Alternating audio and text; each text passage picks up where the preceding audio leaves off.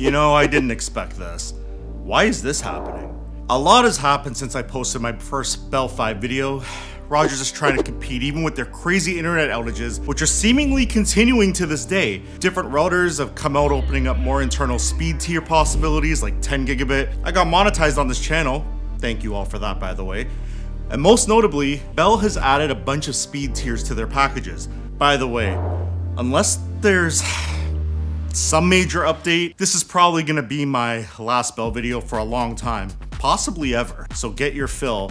I do plan on doing some more on this channel than just internet provider videos. So I guess the question is, did I upgrade to 8 gigabit? Can I even justify the cost associated with it? I mean, Rogers is charging an insane $400 a month, so Bell must be priced around the same, right? I mean, it has to be more.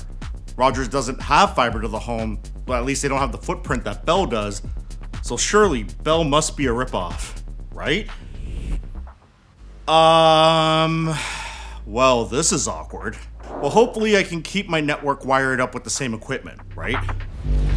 Yo, what's poppin', dude? Hey, what's up, bro? How you doing? I can't complain, you know, just living the dream, boiling out here. It's middle of July. It's hot. It's like people stew.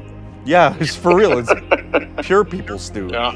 Yeah, man. How's uh how's your internet going? I'm floored. I haven't had to touch anything. It's been amazing, so I'm just enjoying that. That's what you say now. hey, don't jinx me.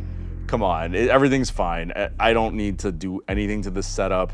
You know, I, I don't think I'm gonna do another video about Bell or any fiber to the home because I covered everything already.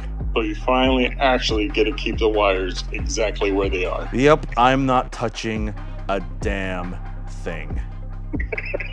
you laugh. Okay. For now. For now. Well, hopefully I can keep my network wired up with the same equipment. Right? Mother. So this is the GigaHub from Bell, and wait, don't let the reps lie to you. You don't need the GigaHub. The Home Hub 4000 works just fine. On the topic of the Home Hub and the GigaHub, there's something interesting coming up about them later on in the video that I don't think has been widely addressed. It's been asked about, been asked about a lot actually, but not addressed in a very public way. Again, I'm gonna touch on this later. While I was testing 8 gig, of course, I got the full download speed and pretty close to full speed. I think Bell needs to do some tweaking on their end because kind of splitting hairs on speed, but it's not the full 8 gig. I know there are three differences between the GigaHub and the Home Hub 4000. The first is it supports Wi-Fi 6E instead of just Wi-Fi 6.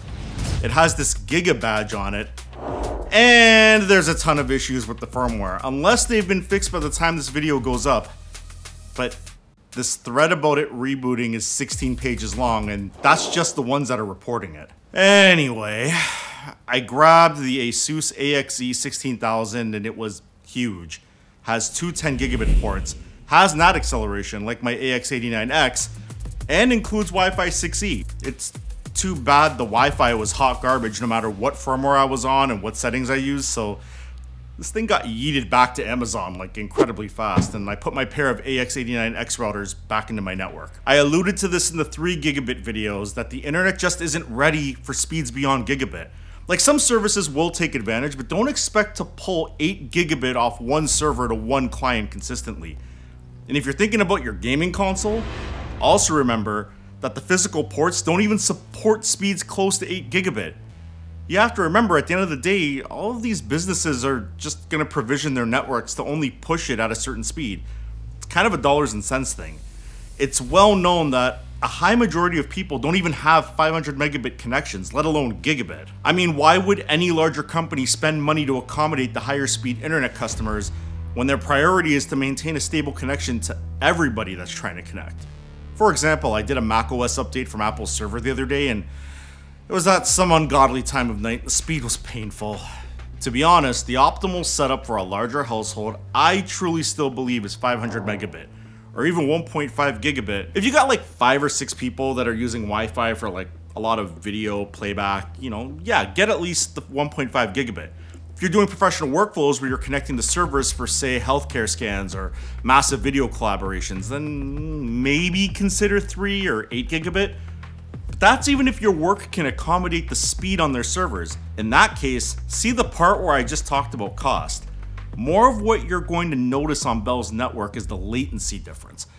When I did the first video on this channel about the iPhone XS Max in 2021, I was on 1.5 gigabit and all of the 4K videos I viewed on YouTube, they just felt like they were saved to my phone because of how fast the scrubbing speed reacted. You know, it's not just about raw speed. Overall, 8 gigabit outside of a few things I need to do for work feels exactly the same as 3 gigabit did. And if I'm being honest, 3 gigabit felt like 1.5 did. It's absolutely overkill for majority of people. If you can lock it in for a great price that you can justify, then hey, by all means. But my recommendation would be to use a different router than the HomeHub 4000 or the GigaHub to handle Wi-Fi. You know, I still recommend the Asus AX89X even though it's older. It's been solid. And hopefully prices come down on it soon because, yikes, that's way more than I paid for it. Thanks a lot, supply chain issues. You know, it's just a shame that you can't bypass Bell's equipment. I mean, there isn't a way to bypass Bell's equipment, and it's firmware issues, right? And it's weird Wi-Fi issues, right? I mean, there is no way to... Well, about that. Here it goes. This is the Wait, wait, wait. Notice I beat this out? There is a reason. Actually, a few reasons. Number one, what I'm about to talk about is kind of a gray area. It may or may not be allowed on Bell's network. As a matter of fact, pretty sure it violates their terms of service. Number two, you know, I've had contact with some higher level executives at Bell, so me posting this is kind of risky for even me.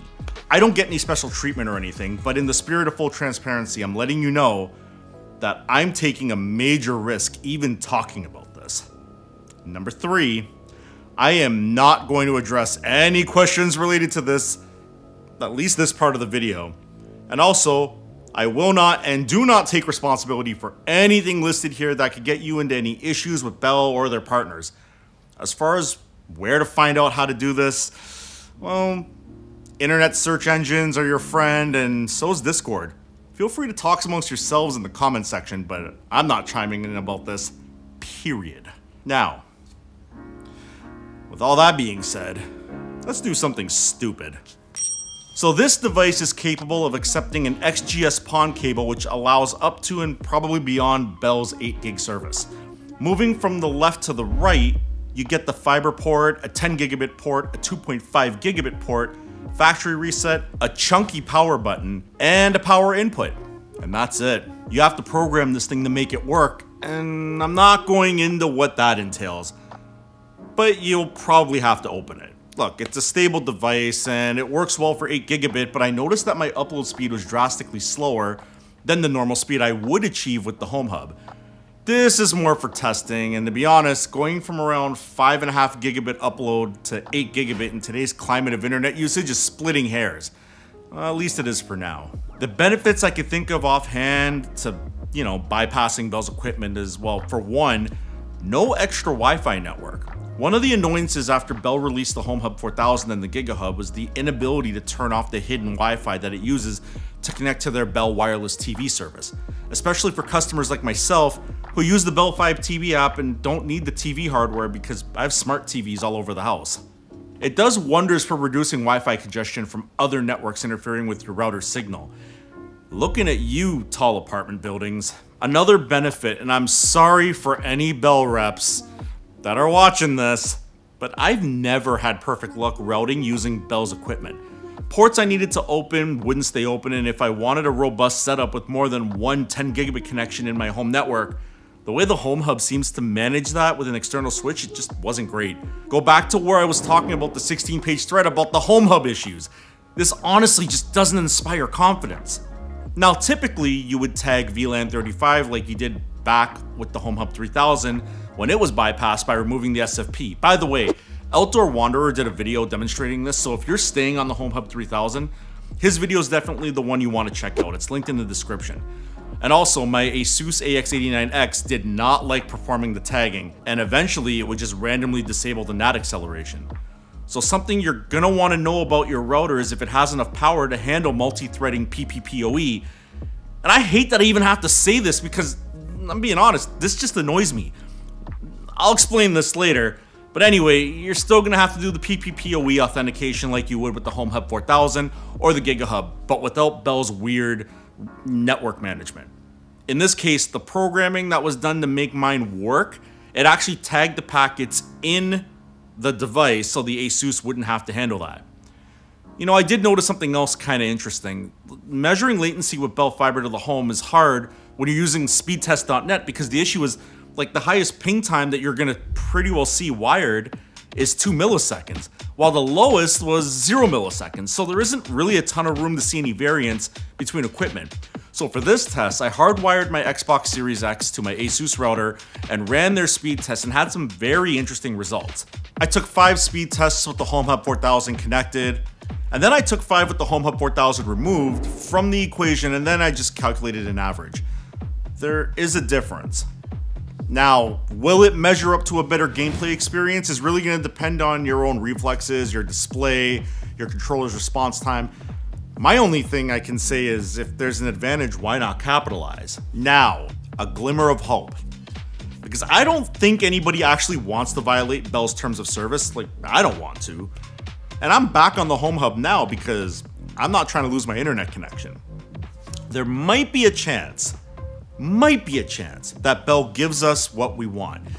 If they would include proper IPv6 support on our home connections, that would be amazing, but that's a topic that, if I'm being real, I'm honestly just sick of discussing. I mean, Rogers is sadly the better provider for this, and to be honest, Bell will be forced to do it someday. I think we just have to hurry up and wait. Back in September of 2022, Bell acquired a company called Distributel. On their homepage at the time of recording this video, there's no mention of fiber to the home packages. However, in speaking with a few Bell technicians, they've been given these Nokia ONT devices, which are really similar to the bypass device I just talked about earlier. So unless they announce some other brand of fiber, which will probably just use Bell's network, there's a chance that this device could be the answer. It could be the answer many of us want, without violating Bell's terms of service. Now don't get me wrong, I love Bell's service, but if they really, really want to kick Rogers in the face, they would have to give the users what they want with a real bridge mode instead of this antiquated PPPoE method. Like, go and search, in quotes, PPPoE outdated. And do some reading up on it. It's making users like myself have to purchase more expensive hardware because of the sheer overhead that PPPoE inflicts. There are comments from some on my previous videos that have said, hey, will router X work? With Bell Fiber to the Home, and as much as I'd love to recommend it, but I can't. Bell not only doesn't support the better DHCP standard, which doesn't need that overhead, they frankly just don't seem to care. There's also the IPv6 thing, which will cost Bell a ton of money, and the longer they wait, the more expensive it's probably going to get. As I said, I'm sick of talking about it, but we're about to enter 2024, and Bell's insistence on holding out is as stupid as Rogers telling us that their service is stable. Outages even this year have been pretty wild, Rogers. So, on the IPv6 topic, 34% of the world is on IPv6 and 46% of the United States is, and eventually those will be percentages of people that we on Bell will not be able to communicate with if Bell doesn't stop with their nonsense. But wait, there's one more piece of just utter stupidity on Bell's end. And this isn't even super technical. It's just, in a word, pathetic. Notice on the front of the Home Hub and the GigaHub, there's a button. If for some reason you're not able to or not comfortable going into the interface to make changes. One of those features is the ability to recover your password. But here's where it takes a turn. The first thing it did was send a plain SMS unencrypted text to my cell phone with not only my Wi-Fi password, but the admin password for my router? Here's an article from 2017, you know, six years ago, talking about why you shouldn't use text messages for two-factor authentication. I'll link it in the description of this video, so hopefully a Bell executive watches it and gets a clue. But like that wasn't bad enough. Exactly a minute later, they send me an email with this large heading reading, Here are your passwords, with the credentials completely unencrypted. The joke is they actually have a page covering security and privacy at the bottom of the homepage, which in two words is hilarious. I'm not going to be a Bell apologist. This channel has barely gotten off the ground, and sure, I'd love to tell you all what you want to hear, but the reality is none of the internet service providers are perfect, and these things need to be pointed out for people like you and I, the consumers. Oh, by the way, um, about the channel, I'm not begging for subs or likes either, so you know what, don't subscribe to me or even like this video unless you actually got some value or entertainment from it kind of back on topic here, if Rogers wants a way to gain back home internet market share that Bell has been stealing, speed up your fiber rollout. Don't cut corners. You know, test your updates. Bell, if you want to stick it to Rogers even more, first and foremost, fix your security stupidity. Above everything, do that. And for the love of God, just do the IPv6 thing already. Oh, and if you're on Rogers and Bell Fiber to the Home is in your area, even with everything I just named, it's far superior to Rogers. Bell is being super aggressive about promos right now at the time of shooting this, so seriously, just switch. If you can somehow get 3 gigabit or even 8 gig for less, might as well go for it, even if it is overkill. My name is Sean. This has been TechMixr. I'm out.